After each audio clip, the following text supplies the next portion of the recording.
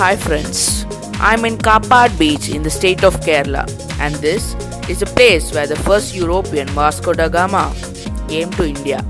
It is a beautiful place with sandy beaches and a beautiful sea rushing towards you. Another interesting sight include a rocky headland that stretches into the sea.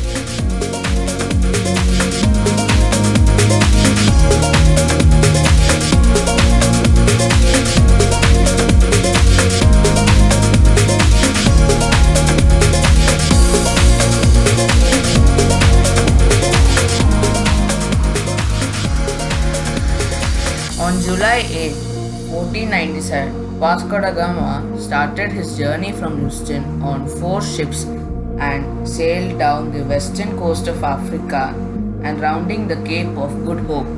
His expedition made numerous stops in Africa before reaching the trading post of Calicut, India in May 1498. This, he sailed a distance of more than 10,000 kilometers for over three months and arrived near this place in Kappad near Calicut.